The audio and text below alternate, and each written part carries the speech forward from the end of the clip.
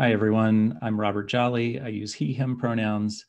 I am a product manager with uh, 18F, which is a part of the GSA's Technology Transformation Service, and I'm based in Fort Collins, Colorado.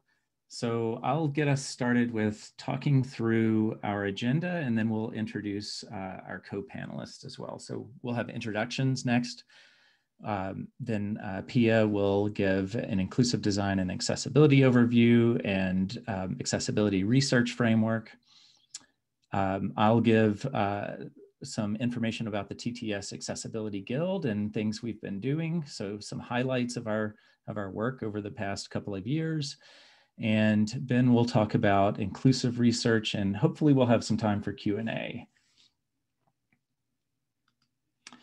So today, I think what we'd like to come away with is, is some ideas around how might we design and work with people with disabilities instead of for them? And how might we embed inclusion, diversity, equity, and access, otherwise uh, termed as IDEA, in our cultural DNA? And uh, how might we recognize exclusion at each stage of the development, uh, as well as the hiring process? So how do we um, how do we do these things? And how can we um, bring people with disabilities into our processes instead of um, being kind of um, a recipient of, of our of our work? So let's um, start with some introductions. Um, on the screen, we have three photos uh, of me. On the left, Robert Jolly, Ben Peterson in the middle, and Pia Zaragoza on the right. Um, my title is, uh, uh, well, I'm a product manager at TTS and at 18F, and um, I am the former Accessibility Guild co-lead at uh, TTS. I'll turn it over to you, Ben.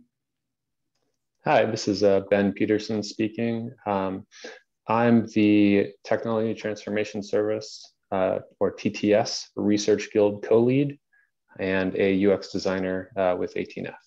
Uh, I'll pass that to Pia. Hi, this is Pia Zaragoza speaking. Um, I'm currently the TTS Accessibility Guild co-lead, and I'm a Presidential Innovation Fellow. And for those of you who are not familiar with this program, um, it's just pairing industry with federal change makers. Um, and we just finished all the interviews for the 2022 cohort, or not interviews, but applications, but just know that the 2023 uh, cohort will be opening up in the near future. So shout out to Presidential Innovation Fellow Program. All right, thank you, Pia. Okay, we're moving on to the next slide. We're on slide number six. Uh, for those of you who will um, potentially follow along at home uh, with the slide deck that we'll provide after this, um, we're going to talk a little bit um, about the overview. So um, I'll give it back to Pia. Thank you, Robert. This is Pia speaking. On this slide, you see one out of five people identify as being disabled, and four out of five people care about someone with a disability. And what that means is, is that everyone is impacted. And these are just powerful words from a disability activist, Christina Mallon. And so uh, for our friends who love numbers, the Center for Disease Control published in 2019 that 61 million Americans have a disability. And when you do times four, that means that there are 244 million Americans that are impacted um, and with that, let's go ahead and go to slide number eight. So when we talk about disability, um, just know that it can be situational, it can be temporary, um, and the different types of disabilities are cognitive, auditory, speech, mobility, and vision. And there's a a GIF on this slide and you see people of different abilities. And the other thing I want to call out is that sometimes it's not just that you have one, you could also have a range of different abilities or several ones at a time. So uh, just want to make sure to call that out. So we're going to go ahead and jump to slide nine to go over some key terms. What you see on the slide is three different definitions, one being universal design. And just so that we're all using the same language, um, this is a term that actually started off in architecture. And it's the notion that it that design is usable by all people to the greatest extent possible without the need for adaptation or specialized design. And you also see inclusive design. And what's interesting about inclusive design is that it's been it, it really starts to encompass digital spaces as well as physical spaces. And it's all about advancing accessibility as well as encompassing the full range of human diversity, which includes not just ability, but language, culture, gender, as well as age. And then there's digital accessibility, which uh, we'll talk a little bit more about the principles later, which is perceivable, operable, understandable, and robust. And it's all about a person's ability to do um, per, to perceive, uh, operate, and understand, and the robustness of technology um, as it relates to a product, service, as well as an environment. So, with that, we're going to go ahead and jump into slide number 10. And here you see inclusive design principles. There's seven here. Um, and you see different imagery um, that kind of illustrates the different principles um, on the computer as well as mobile devices. And so the first principle is provide a comparable experience. The second principle is give control. And three is offer choice. And then four is consider the situation Five is be consistent, and six is prioritize content, and seven is add value. We're going to talk a little bit more about how to actually apply this, especially in the UX work. But I also just want to call out um, uh, something that we kind of talked about earlier before this session started is what does it mean to be a designer? And a designer, as well as researcher, is anybody who um, is making a decision you have to design a solution. And then in the context of research, um, someone brought up it's anybody who asks questions. So whether or not UX is directly related to your role or indirectly related to your to this role, we hope that you find something valuable, um, especially in recognizing exclusion. And with that, um, I just wanted to share in slide 11 some interesting principles from the Design Justice Network. And here you see a visual of the different uh, design justice principles. Um, and I want to call out something, especially the work that is happening um, at TTS as well as GSA in the different guilds. Um, it's been so exciting being a part of government. I joined um, last October in 2020.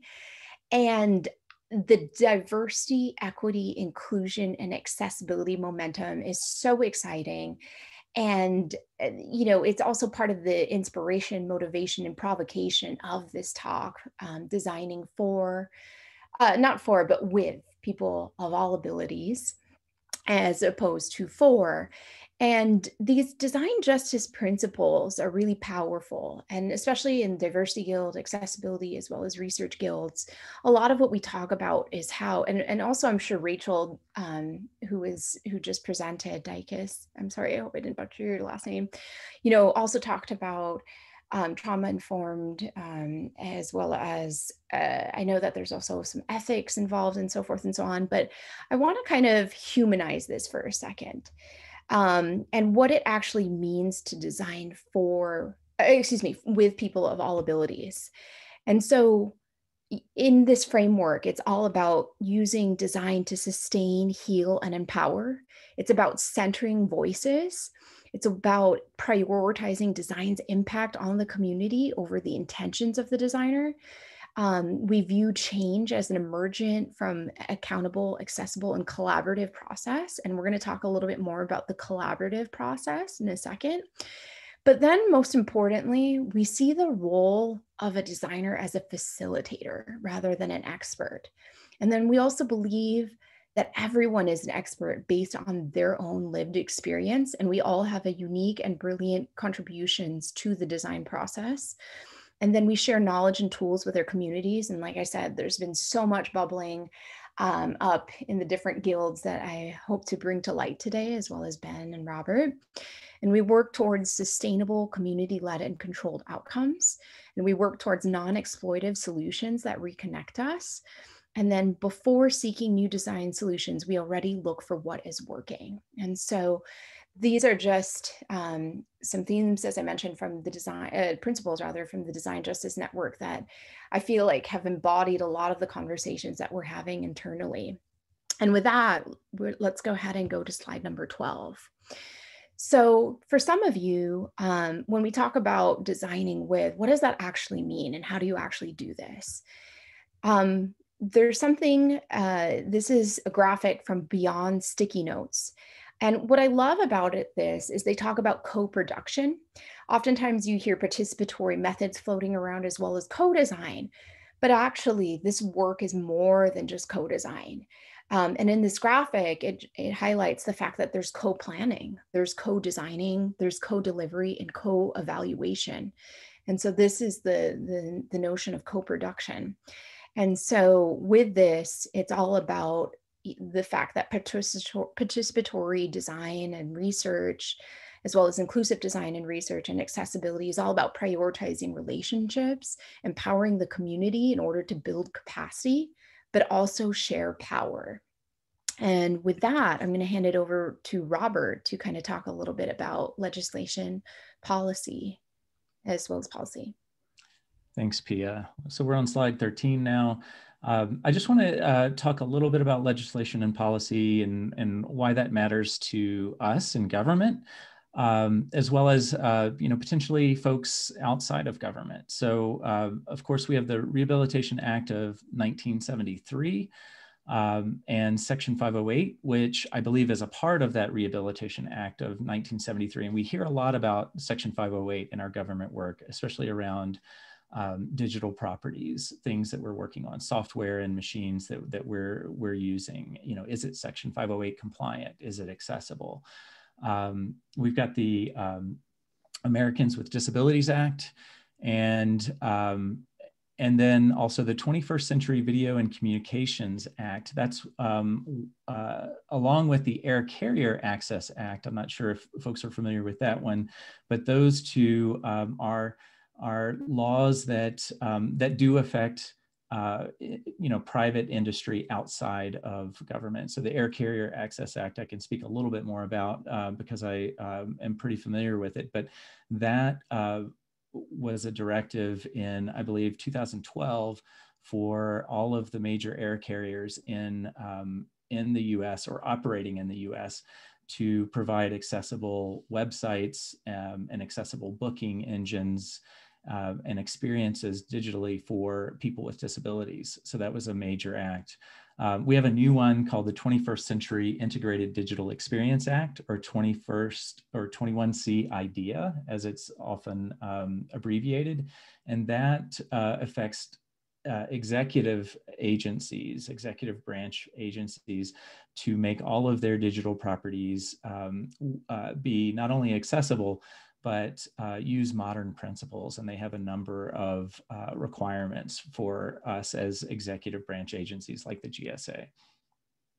Um, with that, uh, we'll um, we'll go to the um, to the next slide, um, which uh, we have a title up here: D E I and A or IDEA. So um, you know we want to talk a little bit about inclusion and and what that is. Um, we want to make sure that everyone feels welcomed and valued.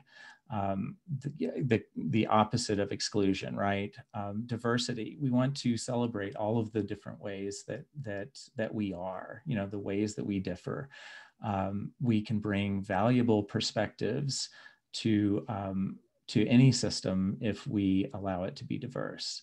Uh, having um, having opportunity to fully participate is what equity is about, right? So um, you can have diver some diversity, some inclusion, some equity, but without accessibility, without including everyone, um, including all people with disabilities, um, and, and making an accessible experience, you don't really have true diversity, equity, or inclusion. You have partial, I think, but um, but a lot of times accessibility gets kind of left out, and we do see now an uptick in um, and I efforts to include accessibility, and we celebrate that, and we we really applaud that, and that's happening um, quite a bit right now. So I'll turn it back over to uh, Pia to talk about uh, applying accessibility principles in UX.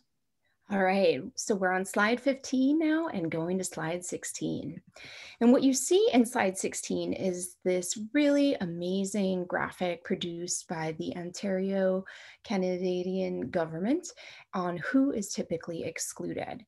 Um, ben Peterson will also talk about this a little bit more and how to actually, and, and just some ideas on how to actually um, start to kind of approach this work. Um, but what's really interesting, which we'll talk a little bit about later, is that so much about this about about this work is ability, identity, habits, and preferences. And especially when it comes to identity, which we'll talk about soon, there's so much dimensionality. So to say, you know, just people with disabilities, um, you know, there's there's also other layers. So for instance, there's seniors, and aging population. There's remote and rural and locale. There's gender. Um, you know, eh, there's also immigrants and disabilities and, and also racialized. And then the LGBT, the LGBTQIA plus plus two spirit, uh, low income, and then low literacy as well as indigenous populations. And so just some things to, uh, to also consider as you're doing this work. And with each, uh, and what and what is also on the screen are the different icons representing um, all these different categories that I mentioned on who is typically excluded. Um, and so in moving to slide 17, we're gonna go ahead and dissect UX a little bit. So the term UX stands for user experience. And when you break that down even further, um, what you're actually looking for as a intern when you're doing this work as a designer or researcher um, is when it comes to users, you're trying to design and research behaviors, needs, and motivations. And then when it comes to experience, it's all about ensuring it's usable, useful, delightful. But what we're really emphasizing in this talk is accessible. Um, and that is um, what we'll talk about that more in a second as it relates to the accessibility principles. And especially in the work that I have done um, in artificial intelligence, as well as machine learning, as well as all of these new emerging technologies that are pretty nascent, the one thing that becomes even more important is context. And there's just a lot of interesting um, shifts in this space on how to actually go about the work and understanding the context. Um, but I want to put it out there, especially when you're thinking about people of all abilities. It's also important to also consider their beliefs, their desires, and intent. And with that, um, just to kind of explain a little bit more on the screen and the way this information is displayed, you see concentric circles with user on one end as well as experience, and in the center is context. So with that, we're going to go ahead and go to slide 18. So one of the joys of being a Presidential Innovation Fellow is getting to do research on research um, as part of my 20% project.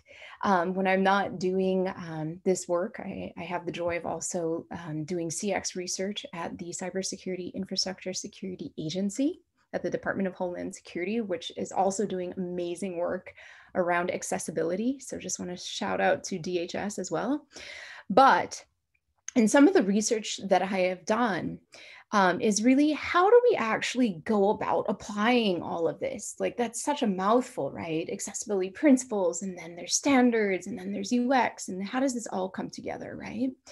So earlier, when we were talking about the definition of accessibility, there are four principles that I mentioned, which is perceivable, operable, understandable, and robust. And in a second, we're going to talk about how to how this all blends in. Um, and then there's standards, which is conformance, compliance, and governance. And, and Robert, um, do you want to add to that? To the accessibility and standards piece. Sure. Um, so this is Robert uh, speaking. Uh, you know, the there are standards that exist that um, that really try very hard to align with um, with the principles of accessibility. Um, and those those standards um, like the w3c's web content accessibility guidelines the ones that Section 508 now align to, um, allow us to um, to check our work as it is. So we can we can kind of test things out and say, do these do these things um, meet the standards that we know of? Um, you know, and and can we can we test this work?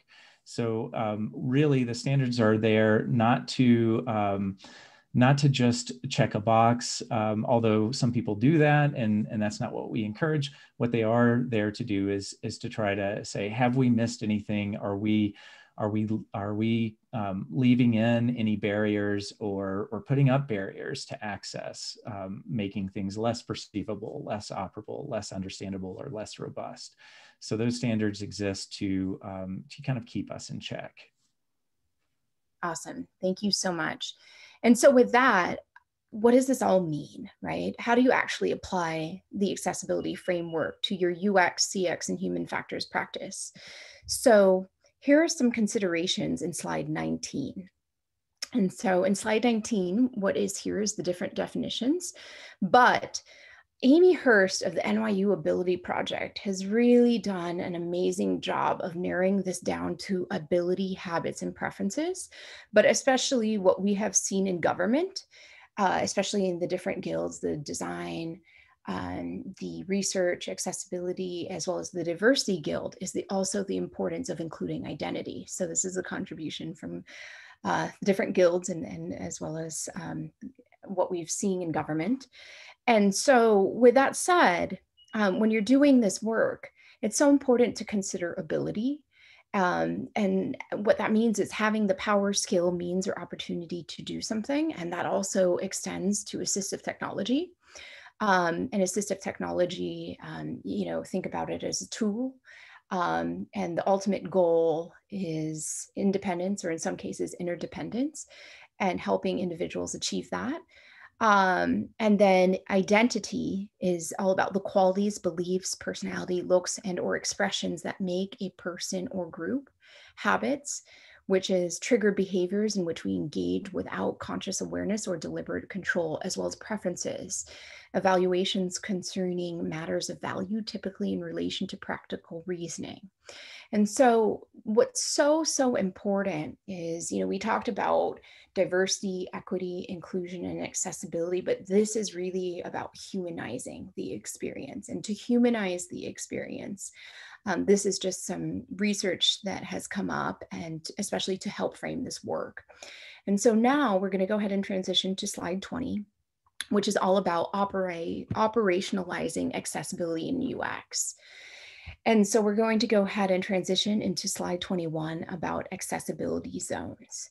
Now, the reason why I bring up operationalizing um, UX is, you know, we talk about principles, but actually, but how do you actually get started? And so, um, Ben as well as Robert are going to talk about some highlights that's on what's actually been started and what's actually being done. But I, I want to help frame a little bit about where this is all coming from. So, accessibility zones is something that Sheri Byrne-Haber came up with. And it's this notion is oftentimes when we approach this work around accessibility, it sometimes comes from fear, especially in industry. Um, sometimes we hear about lawsuits um, related to ADA or the lack thereof of ADA in Section 508. Um, but in government, I wouldn't say there's so much as fear. Um, I think it's just more about what we'll talk about in a little bit, which is more about stakeholder commitment.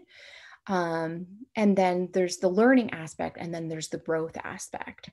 And so in transitioning, and, and sorry, just to explain what's on the screen, you see three triangles with fear, learning, and growth, all pointing um, in the direction of the right. Um, and then in going to slide 22, um, you see a breakdown of these uh, triangles. Um, and once again, instead of fear, you see stakeholder commitment. Instead of learning, you see training. And then instead of growth, you see scaling. And so, you know, the hardest part, as we all know, is getting started. And luckily, there's amazing resources from ADA, Section 508, as well as different organizations and institutions.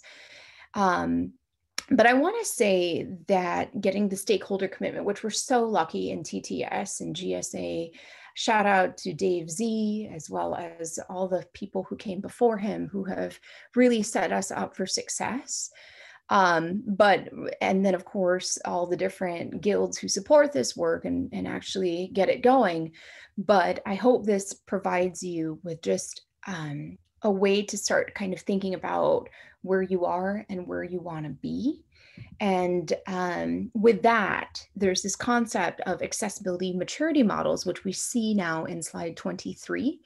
And slide 23, 24, and 25, we're going to talk about just some interesting viewpoints as, around accessibility maturity models.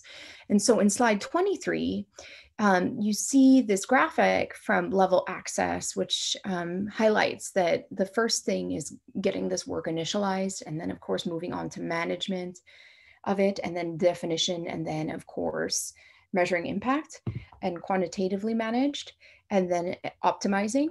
And then when we move to slide 24, um, what you see here is just another way of thinking about it, especially in the context of UX. And this is, once again, an accessibility maturity model that Neil, and I'm sorry for butchering his last name, Milliken, uh, kind of came up with, which is a framework to assess and address inclusion issues eh, as it's defined by, and what you see on this graphic is these different swim lanes of informal, defined, repeatable, managed, and optimized.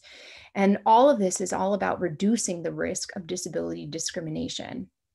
Um, and then on slide 25, it's the accessibility evolution model as presented by Microsoft. And, you know, what's really excited about government is, you know, there's definitely, you know, we have a history of getting started in this space and building momentum as well as being innovators in accessibility. And just want to shout out to the work at 10X, um, which is all about um, turning ideas uh, and, and into actual um, in, uh, turning ideas into reality, which is so exciting to have these incubators and accelerators. And that really, you know, is one way of driving change outside of legislation and policy.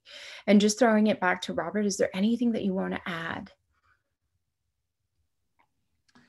Um, you know, uh, it's okay to be where you are in uh, in terms of um, you, you, know your organization's maturity uh, with accessibility, but um, taking stock of um, of of where you sit with um, with accessibility maturity and and where you you can go as an organization is a really good first step or or step along the way to um, to kind of plotting out what um, what you want to do and and how and what you need to get there.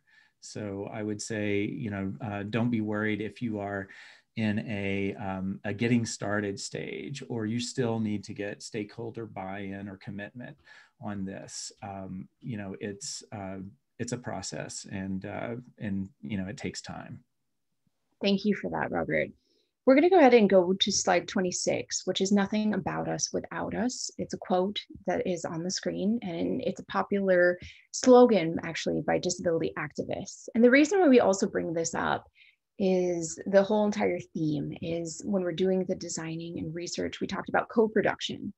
But then in slide 27, we start to talk about disability inclusion in the workplace and just so so excited about especially with tts and gsa um, about how we're approaching this and doing more in this space. We've recently started publishing jobs in different platforms like inclusively but then of course there's also source america uh, PEAT which robert please help me with this. PEAT is the partnership for employee accessibility uh, what does the acronym stand for again, Robert? I don't know that I can answer that one uh, accurately. Sorry. Fair enough. Um, but PEAT is actually the Partnership on Employment, Accessibility, and Technology. Sorry. There you go. And then Ability One. And then, of course, you also have Section 508 and ADA. But the reason why I bring this out, I bring this up is because, you know, so much about this work is community um, and bringing the community in through not just design and research efforts, but also to make them part of the federal workforce. So just want to put that out there. Um, and then I'm going to go ahead and hand it over to um, Robert for slide 28. And by the way, sorry, just to describe what is on slide 27, you see the different logos of Inclusively Source America, um, PEAT, as well as Ability One, Section 508, and ADA. So going to go ahead and turn this over to Robert for the TTS Accessibility Guild highlights starting on slide 28. All right, hi, um, thanks Pia. So um, in the technology transformation service of the GSA, we have an accessibility guild, but you may be wondering, what is this? So um, we, uh, we help technology transformation service uh, develop good, accessible products from the start of production in order to provide an excellent user experience for everyone.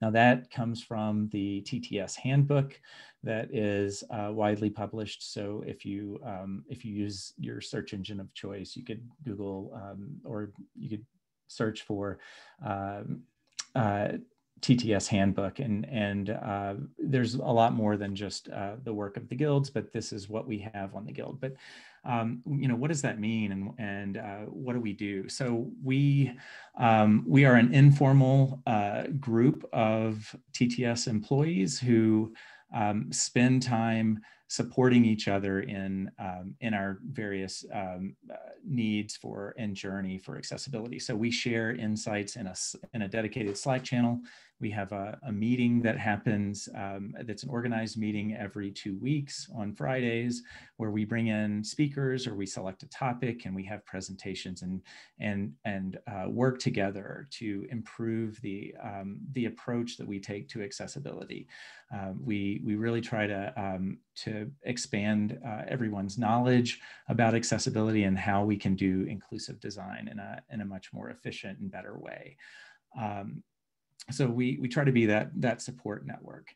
Um, and one of the things that that we noticed along the way is that um, that that we we have kind of a, a long-standing problem, and that's that um, TTS employees uh, really do care about accessibility. I've, I've never seen someone just be dis dismissive of it, but um, but folks don't have a complete toolkit for building accessible products. Now, the Accessibility Guild has has produced different things along the way to help with that, but um, but you know, folks come from um, from all over uh, the private sector and all over government to join TTS, and and um, and so we find folks that uh, may not have been exposed to accessibility requirements in in in their work yet. Um, so um, so folks, uh, you know, kind of need that. Um, we've um, we've also done a few other things uh, we to to address this. So um, the Ally the Slack bot is a very new um, initiative. So uh, we all use Slack at TTS for internal communications, and um, and so we created a bot that.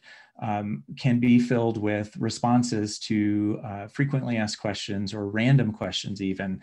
Um, so this, uh, this is a, an image of uh, a woman of color in a wheelchair, and um, and then uh, the Slack logo is um, is next to her, and uh, basically, Ally the Slackbot will respond um, with um, with answers when you when you have questions, and can also direct you to um, to dedicated resources for help. Say if you need to audit a, a workflow or something like that.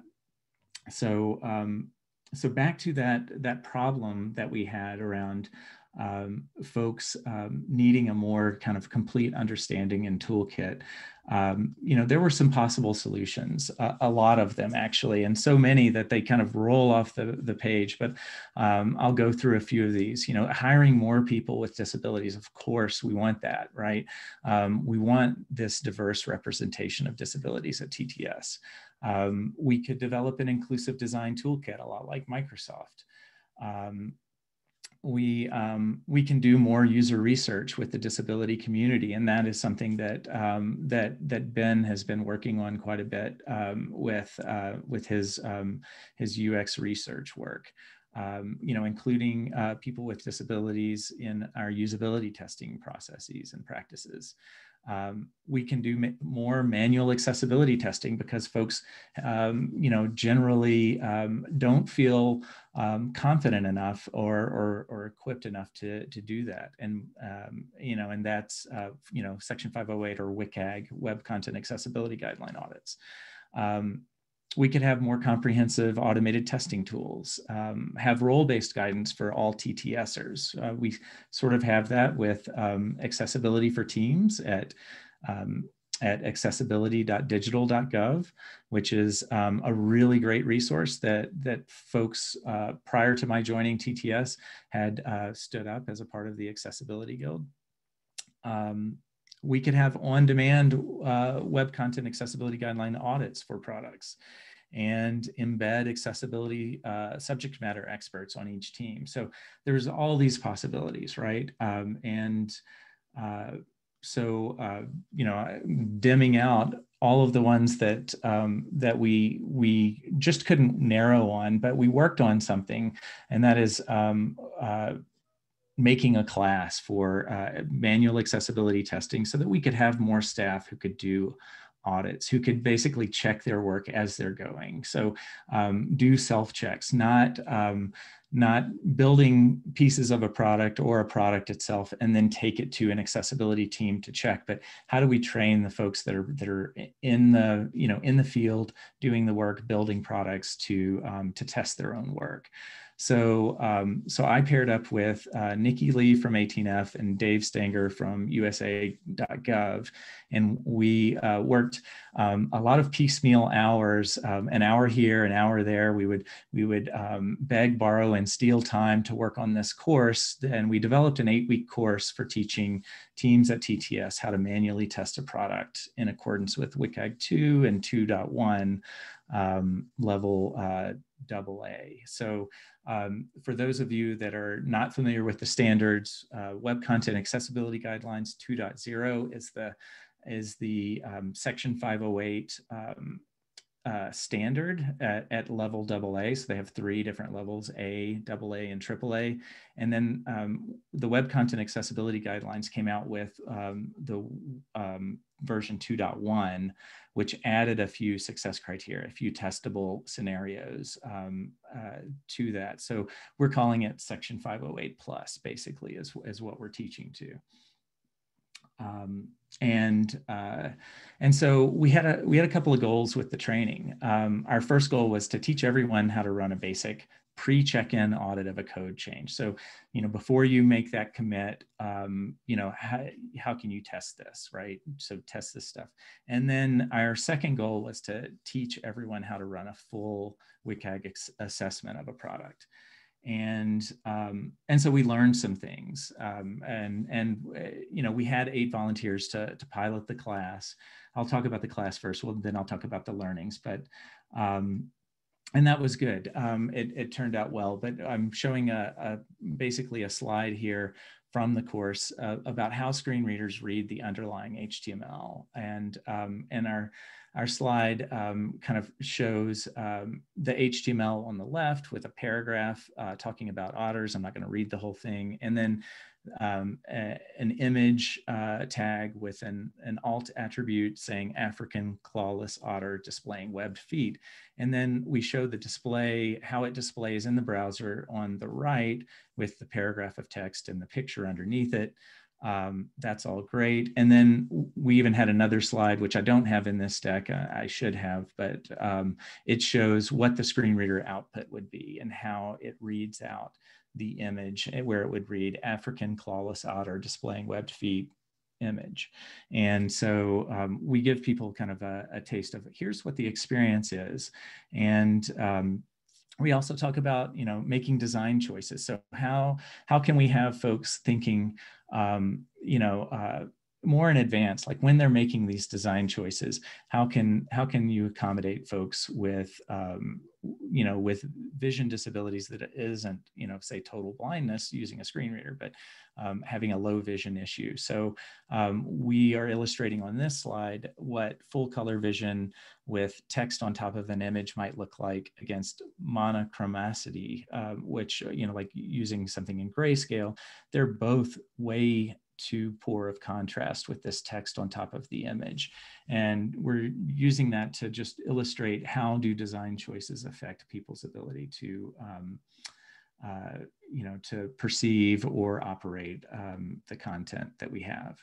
Um, another course slide goes into what are the landmark roles and what do they mean for folks. So we have um, a section at the top with the role of banner, uh, the role of navigation just under the banner, a role of main for the main content, role of complementary, which is in the side content uh, in, a, in a page or a web app, and then the content info, which is generally the footer information. And that's one way that a person with a disability may choose to, um, to navigate a web page or to get around um, and jump to content more quickly. Um, I want to talk about how it turned out. So we had those two goals, right, of, of um, having people feel comfortable doing a quick check-in, uh, you know, like check of their work before they check in code, and um, and also doing a um, a full audit. And um, what we found out is that everyone, um, first off, we, we kept everyone's interest. Everyone consistently showed up to class, even when their schedules were tight. So one of the things about um, our teams at TTS is that um, we stay pretty busy, and and that's no exception across government or even um, even industry. But um, there were a few personal emergencies, and we were in the middle of a pandemic. So uh, you know we um, we were pretty impressed that people um, showed up and, and continued to show up. Um, we found that folks gained confidence with being able to spot accessibility issues on their own. And uh, one quote from someone is, uh, they said, this has vastly improved my testing, especially with opening up screen readers. And um, people told us that it was a good use of their time and asked us to keep continue doing the course. Um, you know, the, and they said, I like this class, I'm learning a lot and um, and so we also heard constructive feedback. So um, uh, folks wanted to um, see the manual accessibility testing in the context of their own work.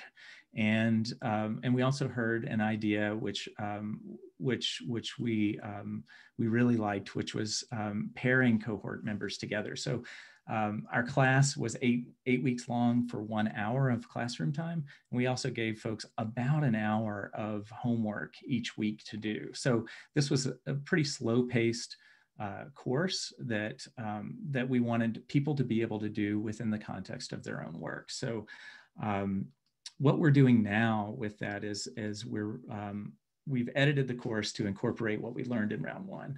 Um, another thing that we learned is that folks in that eight weeks with basically about 16 hours worth of time invested, they didn't feel fully confident in being able to do a full audit.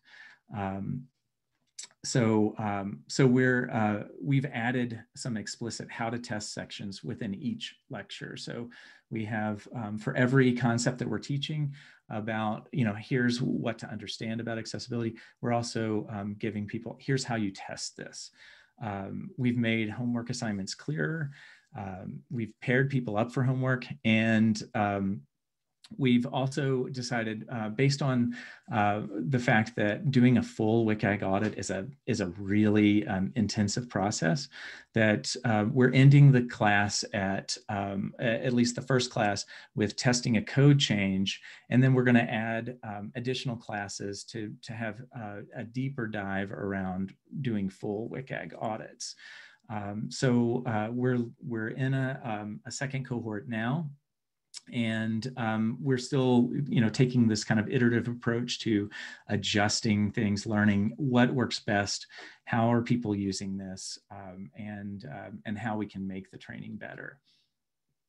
Um, so what we're um, essentially doing is is um, you know taking people from this place of good intentions and we're we're giving them skills to uh, and knowledge to be able to test the code change before it gets checked in and audit key workflows for their product. It may not be the um, the full um, the full range of uh, of uh, WCAG testing, but it's uh, it's getting people there.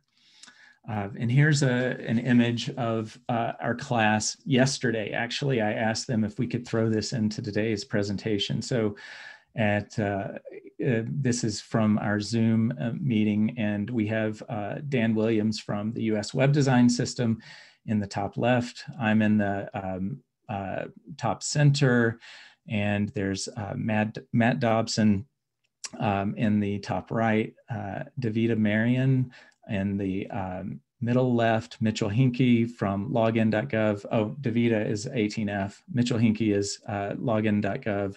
Dave Ludiger uh, from uh, 18F, uh, Jessica Demby from login.gov, and Nikki Lee, who is uh, my uh, co-lead on the uh, on the course. So everyone's giving some sort of pose, mostly smiling, maybe with a black cat. Davida and Nikki have black cats.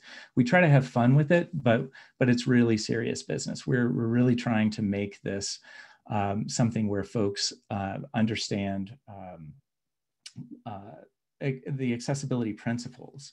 So um, uh, you know, we're, we're trying to, you know, just basically incorporate inclusive design within teams thinking and processes. And, uh, you know, it's only part of the story though. Um, so we, you know, our goal is we want people to move beyond designing for people with disabilities and, and we, we want them uh, to design with people with disabilities because the, the, the most valuable usability insights happen when we're designing with people with disabilities. So, um, so that's where I want to turn um, turn this over to uh, to Ben Peterson to talk about inclusive research, and we are on slide 53 now. Thanks, Robert. Um, this is uh, Ben Peterson speaking. Um, I'm going to go quickly so we can have some time for uh, questions, um, and I'm going to just briefly share some ingredients for inclusive research we're thinking about at TTS. Um, 54, please. So uh, respecting your participants' time by checking as many accessibility issues you can before testing with people. So they're not doing a basic accessibility scan for you or telling you something you can find out without a testing session. Um, next slide. We're on uh, 55. Um, conduct research with accessibility in mind. Use live prototypes when possible, which allow people using assistive technologies to interact with your design um, writing your discussion guides, uh, be as inclusive as possible. Um, in your directions to participants, can you say things like activate instead of click on to account for different ways of accomplishing a task? And um, focus on your highest priority tasks so you can um, learn from participants' experience um, without making tests longer. Um, for some folks, you might need to budget more time for, for a task. Um, and um, set expectations ahead of the session by letting folks know about the accessibility issues they'll run into and uh, the content you'll be covering. Um, slide 56, please. Um, sorry, uh, can we go one, two more? Yeah, I'm just cutting cutting some for time. Um, yeah, thanks. Um, so um, when we're we're trying to be inclusive in our in our um, research, can we think about um, schedule? How can we uh, meet people where they are by meeting outside of normal business hours? Uh, can we accommodate part participants' preferences um, for where to meet or what kind of technical setup they need? And um, you know, how might folks feel about the government? Um, are there issues that you can address ahead of time as part of an outreach discussion? Uh, next slide. And um, recruiting practices. Uh, when we're talking about recruiting, we're talking about engaging uh, as diverse a group of participants with a range of different abilities that will help you understand a full picture of the friction your design creates for everyone. And uh, taking it a step further, can you recruit more than one person um, who has similar abilities to avoid solely on one person's experience of an issue or potentially tokenizing that experience. Um, next slide. Um, and so that said, um, at TTS, um, some of our common recruiting practices are preventing us from achieving this diversity. Um, you know, we commonly recruit for research through our personal networks and uh, with uh, recruitment platforms. And uh, this limits us when we recruit with our own network. We tend to get folks who have similar backgrounds to us. And uh, when we use a third party recruiter, uh, we're limited to their pool of people that they're connected with. Um, we're just starting to test working with community groups to see if we can build relationships with them. And uh, just with recruiting agencies, uh, we'll pay a fee for their time to help with the recruiting. And in this way, we'd get research participants who are representative of the communities we're trying to reach and support the work of those uh, community organizations at the same time. So working with community groups has been years in the making for us um, and has been a collective effort of dozens of people, uh, many of whom are have moved on from 18F. Um, these things take time and require investment, but they're conversations worth having um, if we're if we're serious about uh, diversity and inclusion. Um, so we're on slide 58 now. If we could move to the next. Thanks. Um, so we're also asking ourselves, what power do we have uh, in the process and how can we share our power with our participants? Can we exist solely as facilitators of the process and put decision-making directly in the hands of the people who these designs are for and who will ultimately have to be using them? And uh, moving to slide 50, um, or 61, excuse me. Um, so one decision that might be within your power is when to include participants in your work. Uh, the earlier in the process, the better chance you have of meeting their needs. Um, can you bring participants in before you start building to help you frame your research plan and your design hypotheses? Think about like, if the prototype you're testing, is that the best way to meet the goals of your users? Um, you know, if you brought them in ahead of time, what would they want to test? Um, and um, next slide. So the two questions that I'd like us to sort of like leave this session with thinking about is how are we measuring success and what power do we have to change our work? As designers, what parts of this process do we control or influence? And can we measure our success by how we share our power and how we make our practices more inclusive?